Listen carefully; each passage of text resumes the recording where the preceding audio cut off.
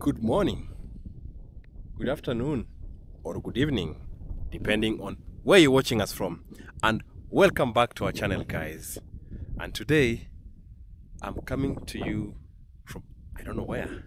I think this place is called Nachu.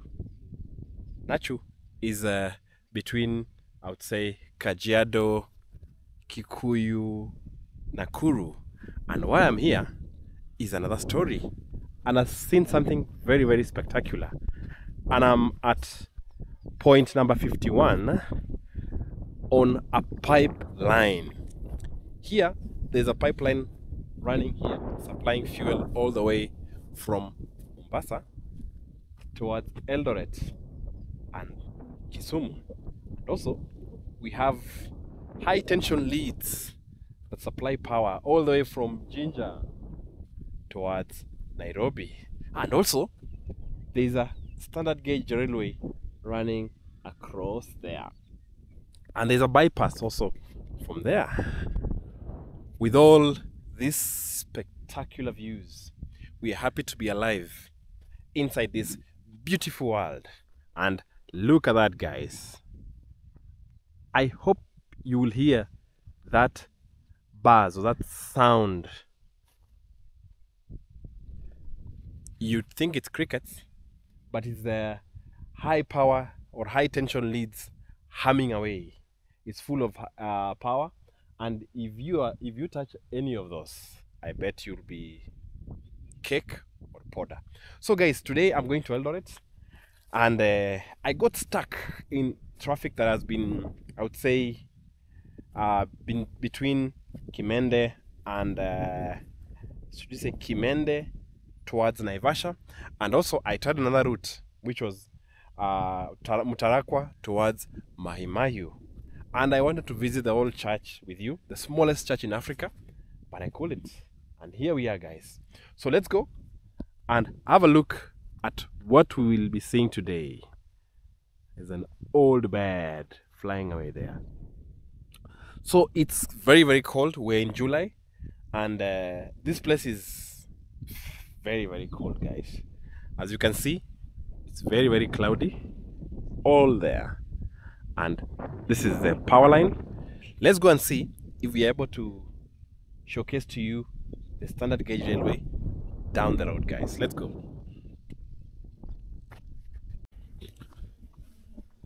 So let's try and see if we can cross here. Oh, wow. Lots of humming sound here because uh, yeah, looks like this is uh, somewhere where security guy stays. Yeah, so here is where the railway crosses or goes underground. Let's see what we can be able to see from here. Lots of humming by the way. There is the standard gauge railway that starts from Ngong going towards Suswa over there, which is where we are headed after encountering the traffic.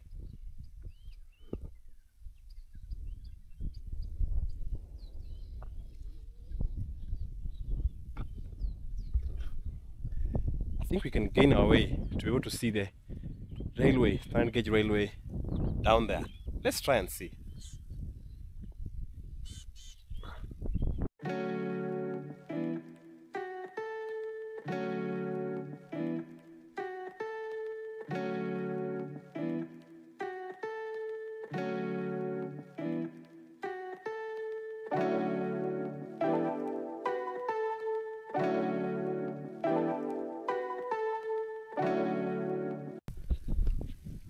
World, guys.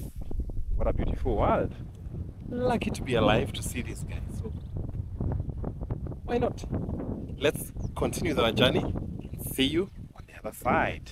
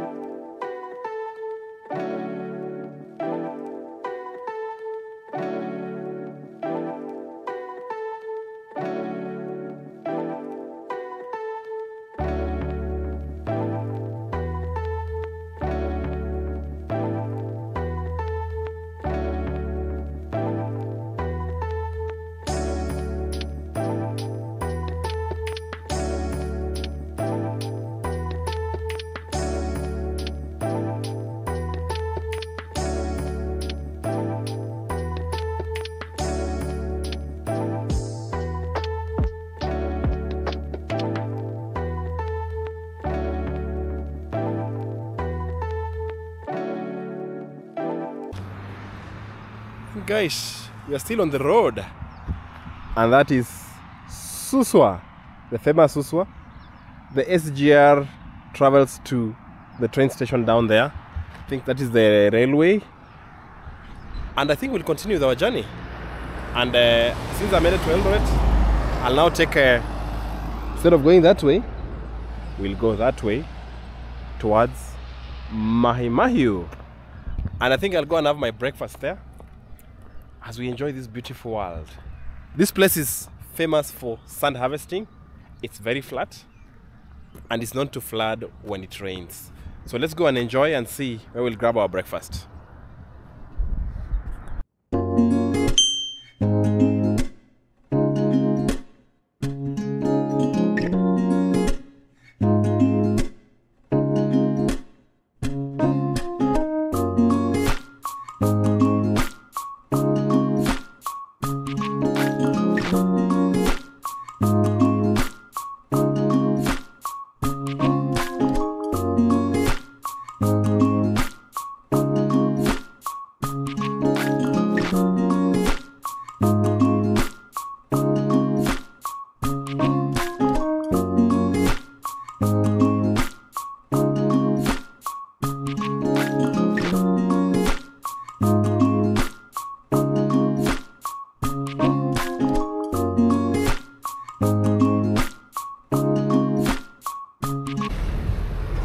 On the road guys, but I saw something very spectacular that has been here for ages that I decided to show you. And that is the Longonot Earth Station guys. Here is where a while back before introduction of uh, fiber technology, this is where all our international calls used to terminate to or I would say this was a terminating station. It was a routing station for all our international calls. I bet right now none of them is working. It's been dilapidated, but it is indeed a critical part in our communication history. And that is Olongo not at station as you go towards there, which is Mahima Mahimahio.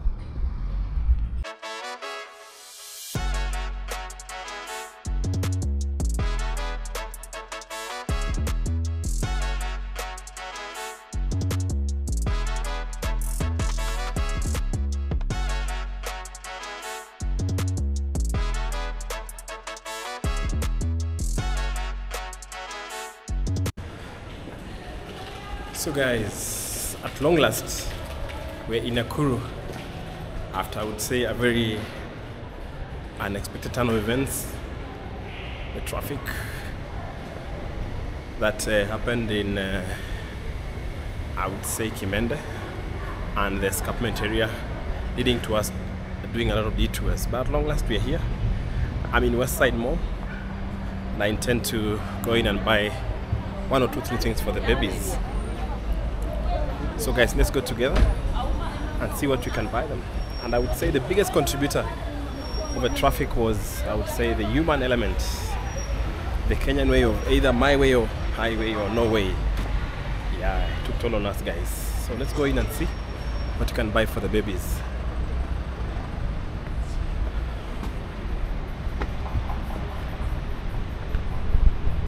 Yeah, it's very, very busy as usual. Weekend times gets very very busy in the weekend over here yep.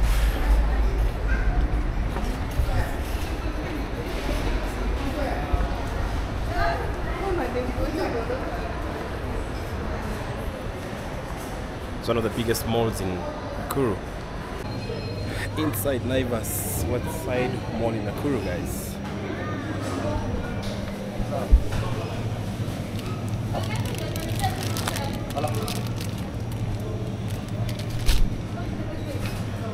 the most convenient markets to be in Nakuru guys so only pass by here to grab one two three things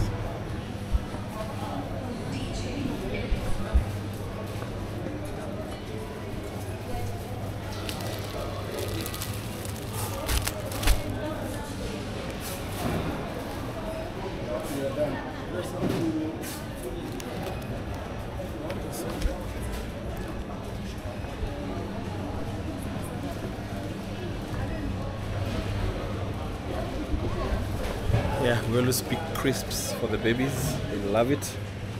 Still good for their age, of course. Some of us, it's a no-no. Yeah.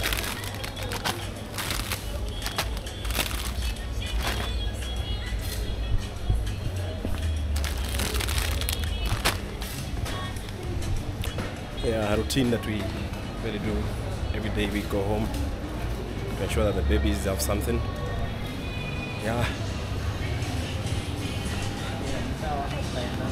Very specific yogurt that I usually come take for my son. He loves it. I don't know if it's here today.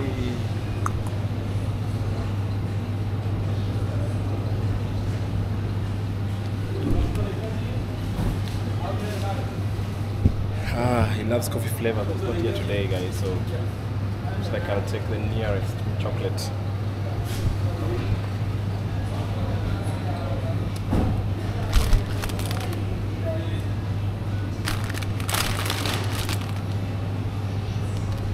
I think I'll take one for the road also for me.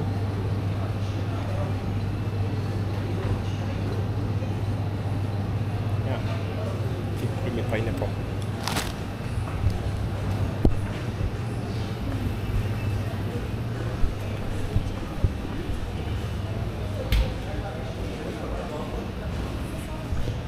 Alright, so see you shortly, guys.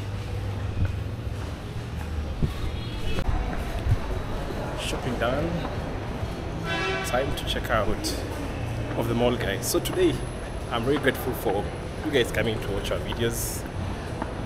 For those who are not subscribed, please consider clicking that subscribe button. And for those who always come back, please thank you. I say thank you, and we'll always give you I would say the best content ever. And today, guys, I'll take you on my way to Eldoret, a very special place that I'll shortly show you. So be sure to watch from the beginning to the end. We are the basement here, guys. So let's get going. Hope it's not that dark. so let's go to a very special place in Salgaa where we had an incident. Yeah, somebody's hooting. The Kenyan way. So guys today i'll take you with me to a very special place in salgaa where there's a memorial for a fire incident let's go and see what happened what we might learn and celebrate the lives that were lost. So see you shortly and thank you for watching our content guys. So guys we are in salgaa. Salgaa i would say is the unofficial uh, pit stop for trucks. And uh, for any truck flying between Mombasa Congo and to Uganda.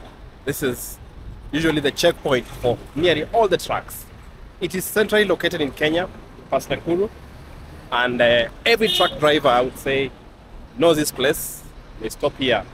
I would say the government would do better if they would uh, make this an official truck or tracking stop point where they would refit refuel, have their trucks checked. But anyway, as Kenyans, we make things happen. As you can see, town is full of trucks, guys. And there are more traveling. That's our destination, guys, where we'll be going to see the Sachangwan fire incident. And before I forget, Salgaa is a Kalenjin word that has two meanings. Salgaa can mean paint home or make it better, or praise home.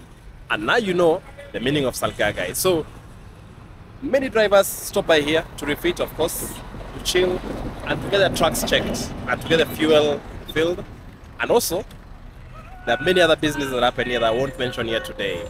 So let's go, guys. The rains are really pounding that area, and I hope we'll be able to vlog, guys. But it is what it is, and let's really enjoy as we travel that way.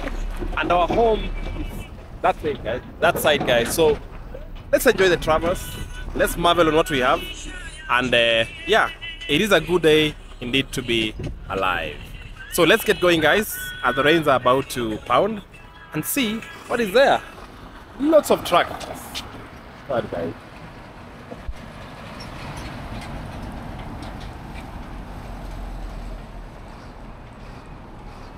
Yes, so let's go, guys, and see what we want to see in Sachangwan, where there was a, a disastrous incident that led to lots of loss of lives around this neighborhood to Molo, Molo area, guys. So let's go and get to see, guys. So, guys, it has decided to rain cats and dogs, as you can see over there.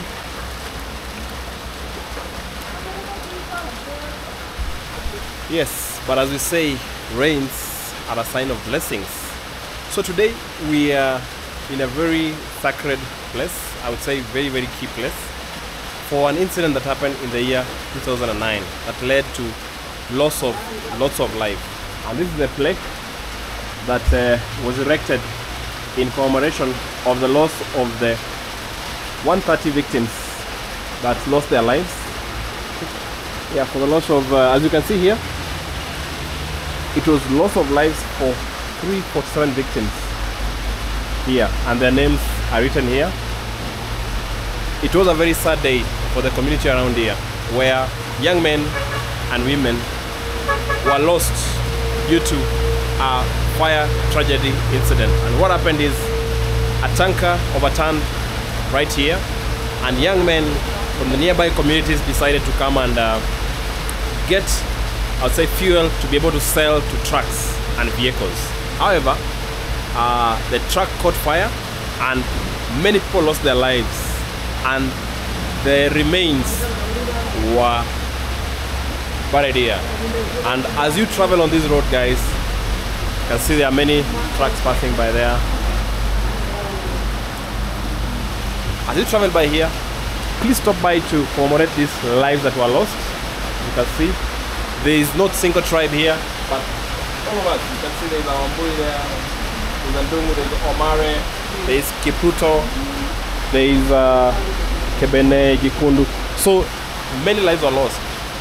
It was a learning moment for the people around here. We know there is scarcity. However, when there is scarcity, also let's be very careful to make sure we guard the lives that we have. And guys, it's raining cats and dogs here.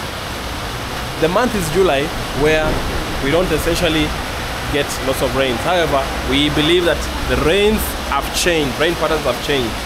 And now we have lots of rains coming in. But this is good for the farming community like me, good for the grass for our goats and sheep. And yes, we thank God for everything, guys. So let's really enjoy. Let's thank God for the life that we have. I'm here today.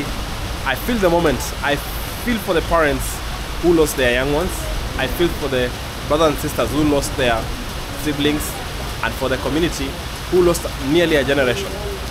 As you can see, the young people are agitating for better lives. Let's support them also in the best way and pray for their wisdom also at the same time. So I wish I could take you with me on the burial site, but it's raining. So I think we'll continue our journey as we go towards home, which is Eldoret. And let's be safe and see you shortly before we get home, guys.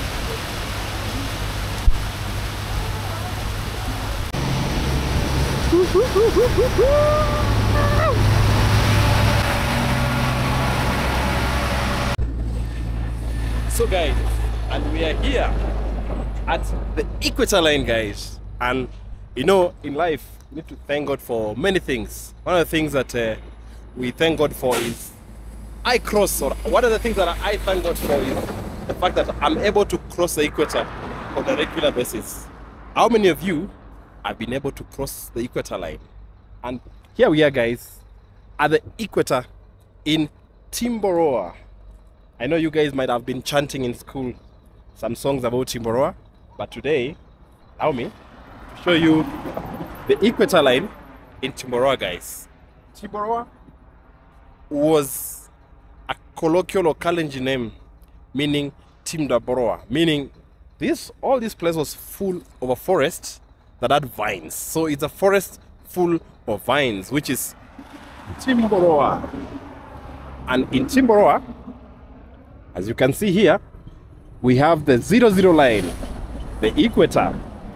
And I think for fun's sake, I would ask one of you or each of you to differentiate or tell me is the equator line a latitude or a longitude? Is the equator line a latitude or a longitude? Put it on the comment section, guys, and I'll tell you the answer shortly. So, the equator is a line that divides the earth into two equal parts. And they say many things happen when you cross the equator, like the needle of the compass remains straight along the equator. And I think one day we'll find a place where they can demonstrate to us that action of the compass. So we are lucky that uh, here within the Uasin Gishu in Kenya, we have the equator. And this line goes straight up to Nanyuki. So I can tell you without fear of doubt that Nanyuki is that way. So what are the benefits of living within the equator, guys? As you can see, I'm in the highway, full of trucks, full of cars, guys running and rushing around to go and do the needful, which is either going home, transporting luggage and merchandise like that. Yeah. So the benefits of living within the equator, guys, are many. And one of them that I'll tell you is we enjoy very nice weather, which is good amount of daylight, which is 12 hours day, 12 hours night, and we get very good rains. And as you can see, we're in a very green environment. That means we flourish by having animals that are healthy, human beings that are healthy, and we produce athletes. That's the second probably why we produce athletes is the equator line and the fact that we come from a high altitude area. So with that, I will give you also another hack of differentiating between a latitude and a longitude. And the equator is an attitude. How I managed to differentiate or a hack that I use is long is along longitude, lat is across latitude. And with that, I think we'll end our video here, guys. And thank you for always coming back to watch our content. Today has been a travel video, just enjoying the sights and sounds. Of course, in life, you take a break sometimes from whatever you do, and you enjoy yourself. Those are some friends that I made uh, here. They were taking nice photos. Of course, let's make friends and let's enjoy and have a good one. I would say happy days, happy you, happy all of us, and that we live in and up. Thank you and see you in our next episode, guys.